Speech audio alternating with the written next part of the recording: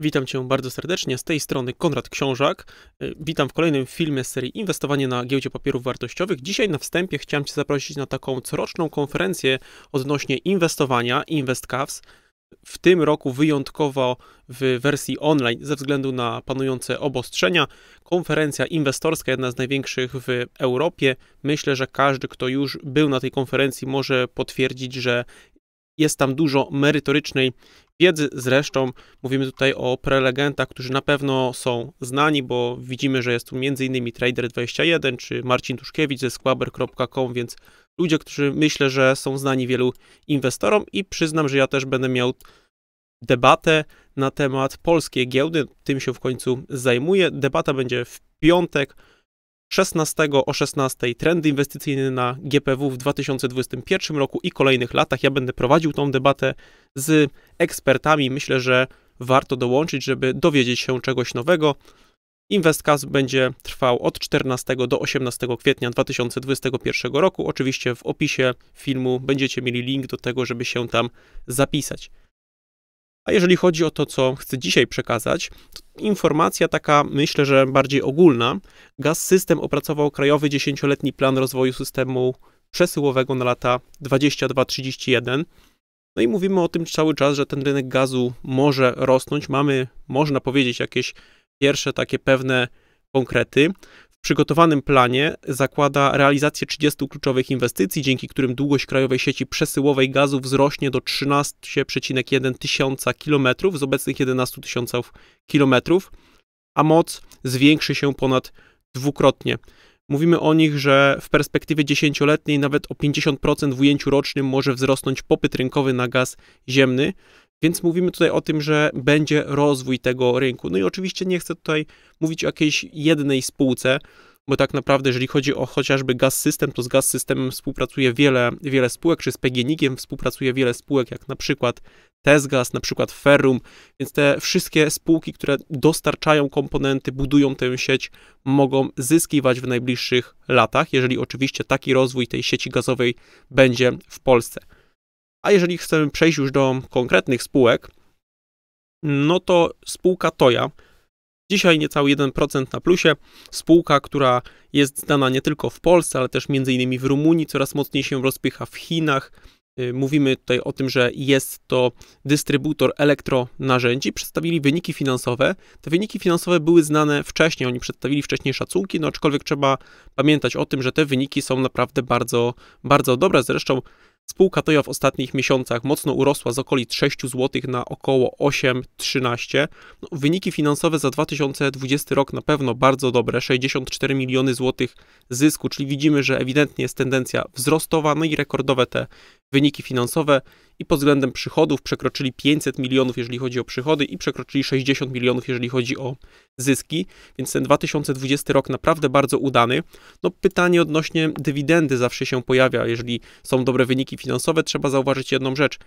To ja od wielu lat wypłaca tak naprawdę co drugi rok dywidendę ostatnio wypłaciła, no więc ciężko powiedzieć, czy, czy teraz będzie jakaś informacja odnośnie dywidendy. W każdym razie, no patrząc na to, w jaki sposób ostatnio to się odbywało, możliwe jest, że tej dywidendy tutaj nie będzie ze względu właśnie na to, że jeżeli chodzi o samą spółkę, ostatnio co dwa lata średnio wypłacali, no a tak naprawdę, jeżeli popatrzymy na to, co tutaj się dzieje, to mogą tę dywidendę wypłacić podobną, porównywalną jak ostatnio, to było 80 groszy na akcję i to było ponad 10%, jeżeli chodzi o kurs akcji, więc mówimy tu o naprawdę wysokiej dywidendzie, no aczkolwiek trzeba też pamiętać, że co dwa lata średnio to wypłacają, więc, więc zobaczymy jak to teraz będzie. Też to ja się mocno rozwija, jeżeli chodzi o swoją działalność i to w Polsce i za granicą, głównie myślę, że za granicą, no bo mówią o tym oczywiście, że, że ten rok 2020 był wyjątkowy. I jeżeli chodzi o to, co jest tam dobre, to trzeba zwrócić uwagę na jedną rzecz. Czasem mamy sytuację, w której spółka działa na różnych segmentach, w różnych branżach i tak naprawdę jedna, jedna branża czy jeden sektor ciągną te wyniki finansowe. Tu jest inna sytuacja, tu jest sytuacja bardzo pozytywna, gdzie każdy sektor odnotował wzrost. I mówi tutaj Toja o tym, że największy wpływ na osiągnięcie dobrych wyników finansowych miało zwiększenie sprzedaży w każdym kanale dystrybucyjnym. Oczywiście najwięcej, największy wzrost był w e-commerce no, ze względu na, na obostrzenia. W każdym razie ten 2021 rok zapowiada się dobrze, jeżeli chodzi o spółkę, spółkę Toja.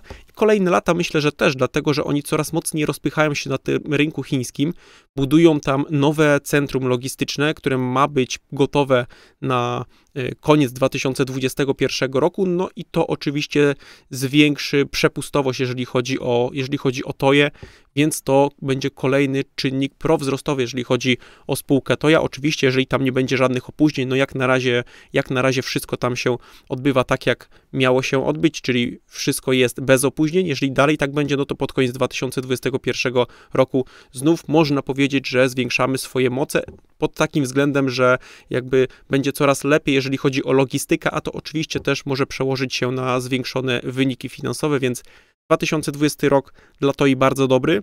2021 raczej nie zapowiada się jakiś inny, jeżeli chodzi o TOI, no bo tak naprawdę te rynki zbytu cały czas potrzebują mniej więcej tych samych tej, tej samej ilości między innymi narzędzi, a skoro to ja się coraz mocniej rozwija, jak mówiłem, rozwinęła się na rynku rumuńskim, na rynku chińskim też się rozwija, więc ta skala działalności powinna się cały czas zwiększać. Ciężko się do czegoś tak naprawdę przyczepić, jeżeli chodzi o spółkę, spółkę to ja też ten cały rynek jest bardzo rozdrobniony, więc tak naprawdę możliwości rozwoju tutaj są bardzo, bardzo wysokie. Inną spółką, może z podobnej troszeczkę branży, jest spółka Sonel, dzisiaj aż 10,5% na plusie, prawie 10,5% na plusie.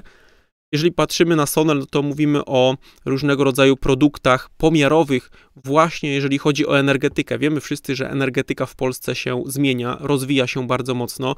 Też coraz mocniejszy nacisk kładziemy na farmy wiatrowe czy farmy fotowoltaiczne, a jeżeli chodzi o farmy fotowoltaiczne, to też Sonel produkuje narzędzia pomiarowe właśnie na ten segment, ale też jeżeli chodzi o te wszystkie różnego rodzaju elektrownie, elektrociepłownie, oni też tam są, a tu jest bardzo duża zmiana i to oczywiście napędza wyniki spółki Sonel. Nie znamy jeszcze tych wyników za czwarty kwartał, czyli ten za ten 2020 rok całych.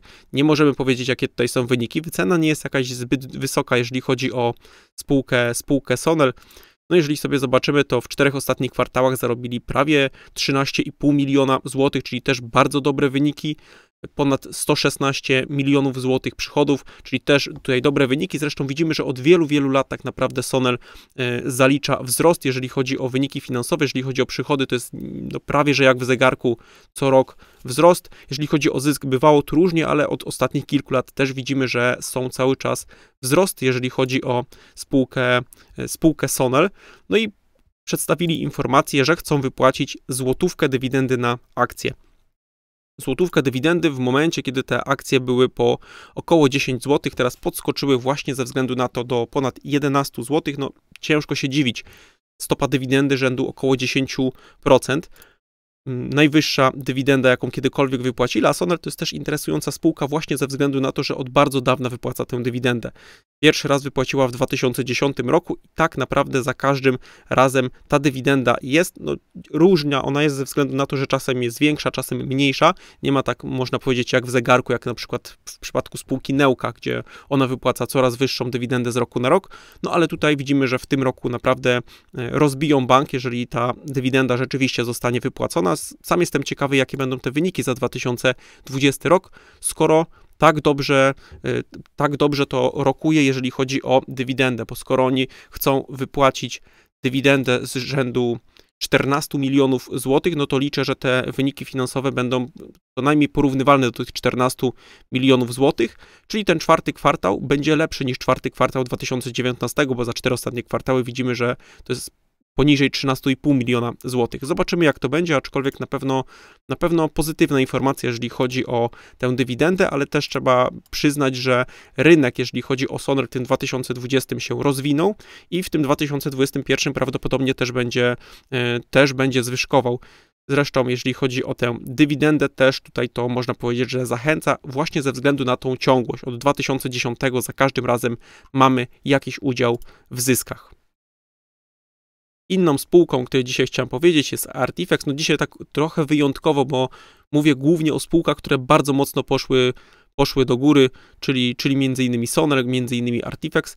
Artifex Mundi to jest spółka, która produkuje gry, między innymi, e, no między innymi na telefony, e, produkuje gry, 8% prawie dzisiaj na plusie. Dosyć interesująca, interesująca spółka ze względu na to, że wypuściła taką aplikację Unsolved i zrobili to pod koniec roku przez i, i ta aplikacja ma napędzać ich zyski w 2020 i kolejnych latach, czyli można powiedzieć, że są na początku pewnej zmiany, która powinna być pozytywna. Zobaczymy, czy tak będzie. Jak na razie tutaj mówimy o tym, że jest to zmiana pozytywna, bo mówimy o tym, że to Unsolved to aplikacja mobilna umożliwiająca graczom ograniczoną czasowo rozgrywkę w oparciu o zużywaną, odnawiającą się codziennie w nieznacznym stopniu energię, której zakup możliwy jest w aplikacji. I oferują już 14 tytułów, y, jeżeli chodzi o ich grę, właśnie w tej aplikacji Unsolved. Mają łącznie około 90, więc tutaj możliwości rozwoju są coraz, y, coraz większe. Jeżeli chodzi o styczeń, to przychody z tego Unsolved były blisko 0,89 miliona złotych, a w grudniu 2020 to było 0,27 milionów. Więc mówimy o cały czas wzroście, jeżeli chodzi o ten Unsolved. No a jeżeli chodzi o sam marzec, no to naprawdę rozbili bank. Marzec zamknięty z 70% wzrostem przychodów do 4 milionów złotych łącznie. Już nie mówimy tutaj tylko o, o tej aplikacji Unsolved, ale łącznie mówimy o tym, że, że ten rozwój jest. No na pewno ta aplikacja Unsolved miała ogromny wpływ właśnie na ten, na ten rozwój. Od początku roku przychody wzrosły według szacunków o 88% do 10,5 miliona złotych. Jeżeli chodzi o jeżeli chodzi o tę aplikację Unsolved, no to rzeczywiście ona miała bardzo duży wpływ, jeżeli chodzi właśnie o, o Artifex, a to jest interesująca spółka, bo to nie jest spółka, która, na którą czekamy na jakiś pierwszy duży tytuł. Często tak jest, że spółki jeszcze w ogóle nie zarabiają, ale czekamy na jakiś pierwszy duży tytuł. No tutaj oczywiście ta wycena jest dosyć wysoka, ale jak na gaming, no nie można powiedzieć, że jest jakaś przesadzona, ale też to jest spółka, która w końcu w tym 2020 roku zarobiła pieniądze i to jest bardzo istotne. Często mamy taką sytuację, że spółki powiększają te przychody, ale mają problem z zyskownością. Mm, jest problem, kiedy spółka przekroczy próg rentowności. Tutaj no, stało się to w 2020 i oczywiście wszyscy liczymy na to, że ta tendencja będzie trwała czekamy na te wyniki za pierwszy kwartał, jeżeli chodzi o, jeżeli chodzi właśnie o zysk, jeżeli chodzi o przychody, powinno być tutaj bardzo dobrze, zresztą mniej więcej wiemy, co się działo. W 2020 zauważmy, że te przychody już są bardzo duże, a porównujemy te przychody z 2021 do 2020, więc już porównujemy do tych bardzo wysokich przychodów. Stąd też no, trochę interesuje się między innymi tą spółką, jeżeli chodzi o, jeżeli chodzi o rynek gamingowy. No i jeżeli chodzi o ten Unsolved, rzeczywiście to jest naprawdę, y, myślę, że strzał w dziesiątkę. Zaczęli tak naprawdę na większą skalę robić to w grudniu, styczniu i to cały czas im przynosi coraz większe przychody. Jeżeli sobie zobaczymy na Androida tutaj, to mamy y, przychody z ostatniego miesiąca, czyli z y, marca, jeżeli chodzi o samo Unsolved, ponad 300 tysięcy dolców. I to jest sam Android. 600 tysięcy to jest Android i iOS, więc widzimy, że naprawdę bardzo mocno napędza ten Unsolved te wyniki finansowe. Zresztą myślę, że to jest dosyć taki ciekawy, ciekawy koncept, dzięki którym możemy już wejść w daną, w daną rozgrywkę. No i tak naprawdę wiele osób, skoro już weszło w daną rozgrywkę, to chce to kontynuować, więc też e, dzięki temu, że zaczęło grać właśnie poprzez tę aplikację, też zdecyduje się na zakup. Więc myślę, że koncept bardzo ciekawy, jeżeli chodzi o Artifex, no, doceniony na giełdzie, no bo 8% na plusie i rzeczywiście ta, e, jeżeli chodzi o ich trend, to jest w ostatnim miesiącu, w ostatnim miesiącu wzrostowy i tak naprawdę przez ostatni rok były wzrosty, chociaż było tu zatrzymanie na mniej więcej 10 zł. Od stycznia tak naprawdę wchodzimy w nowe wzrosty, jeżeli chodzi o Artifex.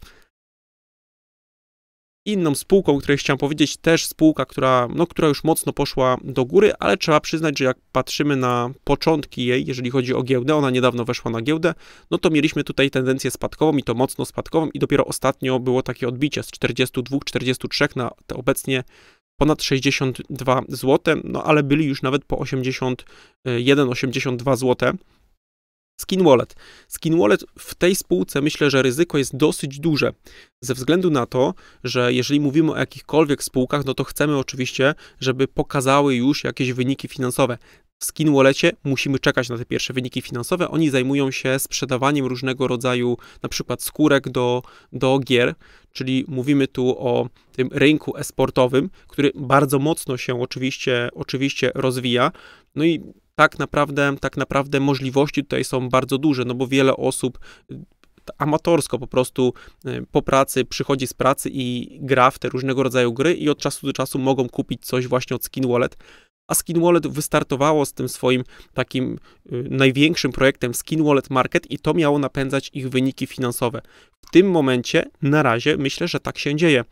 Skin Wallet Market prawie czterokrotny wzrost liczby transakcji w marcu. I od stycznia tak naprawdę ten Skin Wallet Market rośnie.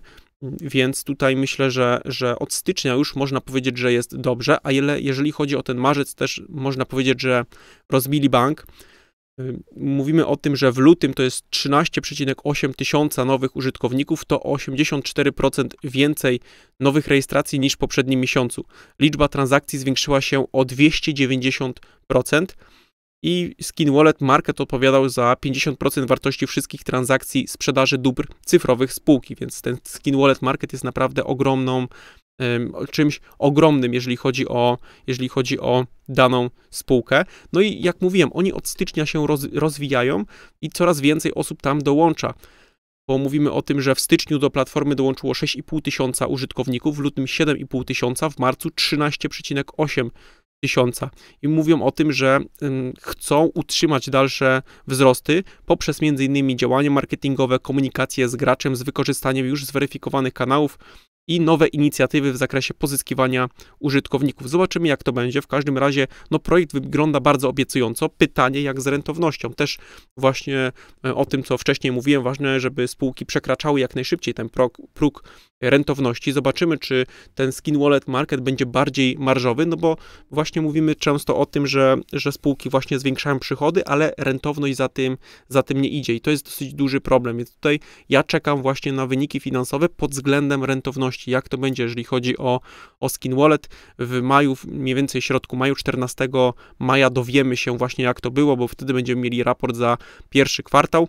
No bo jeżeli chodzi o te przychody, no to widzimy, że tu jest skokowy wzrost, jeżeli chodzi o przychody 2019 do 2020, mm, ale jeżeli chodzi o zyski, to, to widzimy, że ich na razie nie ma, jest strata, więc na pewno ja na to będę czekał. Wielokrotnie właśnie mówiłem o tej spółce bardziej jako o ciekawostce, żeby się zainteresować, no bo jednak jest na bardzo perspektywicznym rynku, ale z drugiej strony ten perspektywiczny rynek ta perspektywiczna branża to jest też bardzo duże ryzyko, bo są tak naprawdę na początku swojej drogi, więc też trzeba na to zwrócić uwagę. Tutaj też polecam taki tekst na Biznes Radarze. E, oni mają taką swoją rubrykę Wiesz w co inwestujesz i tam właśnie umówili Skin Wallet. Myślę, że warto mm, czegoś się dowiedzieć nowego o spółce. Oczywiście wszystkie linki, z których korzystam będą w opisie tego, tego filmu, więc zapraszam do, do opisu filmu. I jeszcze jedna spółka, no ona dziś akurat nie rosła, 0,27% na minusie. Spółka Grodno spadła poniżej 15 Procent też między innymi dystrybutor elektronarzędzi, ale mówimy tutaj bardziej, że coraz większy udział ma w fotowoltaice, pompy ciepła. Fotowoltaika odpowiada już za około 32%, jeżeli chodzi o ich całą sprzedaż, a chcą docelowo mieć 35%. O ile ta fotowoltaika jest wyszy, wysoko marżowa i ona napędziła ich zyski w 2020 roku, ich wyniki finansowe, oni mają też przesunięty ten rok obrotowy, Y, to jednak pozostała ich działalność lekko, lekko spadła. Liczą jednak na to, że, że będzie lepiej. Ostatnio mówiłem o tym, że w marcu naprawdę bardzo dobrze im to wszystko wyszło, bo prace w marcu y, trwały, można powiedzieć, E, przez cały miesiąc, nie jak to było w lutym, gdzie, gdzie były tutaj niekorzystne warunki pogotowe i szły pełną parą, więc te wyniki za marzec były naprawdę bardzo dobre pod względem, pod względem sprzedaży. No i mówią też o tym, że e, dążą do zwiększenia rentowności, bo obecnie po trzech kwartałach ich roku obrotowego ta rentowność jest na poziomie 3,7%, a chcą, żeby ta rentowność była na, na, na poziomie 4%. Oczywiście to jest bardzo mało, to jest 0,3 punkta procentowego, ale biorąc pod uwagę skalę ich działalności, no to już są jakieś konkretne, konkretne e, pieniądze. I mówią o tym, że oprócz tego, że się rozwijałem pod względem fotowoltaiki, e, pomp ciepła, pompy ciepła jeszcze mocniej rosły, bo z tego co wiem, to u nich pompy ciepła, jeżeli chodzi o sprzedaż, urosły o ponad 200%, a fotowoltaika sama około 140%, więc tutaj widzimy, że pompy ciepła jeszcze mocniej, mocniej rosły oczekują dobrego roku w segmentach takich jak przemysł czy oświetlenie, które ucierpiały w 2020 roku z powodu pandemii.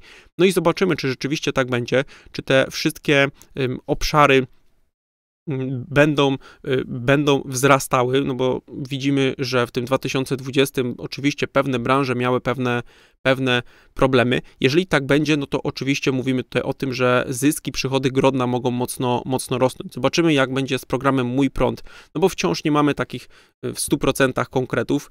Wiemy, że, że prawdopodobnie będzie ruszał w lipcu ten Mój Prąd 3.0, Wiemy, że prawdopodobnie mm, będzie na takiej zasadzie, że im więcej weźmiemy produktów tam, czyli na przykład fotowoltaikę, weźmiemy też powiedzmy ładowarkę elektryczną, to tym większa będzie zniżka, więc to jest dosyć coś dosyć interesującego. No więc mówimy tutaj o tym, że, że na pewno tutaj czekamy, jak to będzie. Zobaczymy, czy będą wzrosty właśnie, jeżeli chodzi o te ich, ten ich konwencjonalny taki e, produkt, którym oni, oni handlują, właśnie o czym mówią, oświetlenie między innymi, czy cała e, elektroenergetyka, pomijając właśnie farmy wiatrowe, pomijając pompy ciepła, pomijając ten obszar fotowoltaiki, Myślę, że ten obszar fotowoltaiki, pomp ciepła będzie się rozwijał. No pytanie właśnie z tym takim ich biznesem konwencjonalnym i to jest na pewno, e, na pewno taki duży, duży znak zapytania. W tym momencie w Grodnie jest wszystko tak naprawdę wszystko ok, właśnie ze względu na to, że no jak sobie możemy zobaczyć te szacunki za marzec, o tym też, o tym też mówiłem, e, wzrosły, jeżeli chodzi o skonsolidowane przychody w marcu wzrost o 37% rok do roku, więc bardzo duży wzrost, ale pamiętajmy też o tym, że ten wzrost no, troszeczkę po części jest spowodowany tym, że był duży spadek w lutym i trzeba było trochę to wszystko nadrabiać, więc też trzeba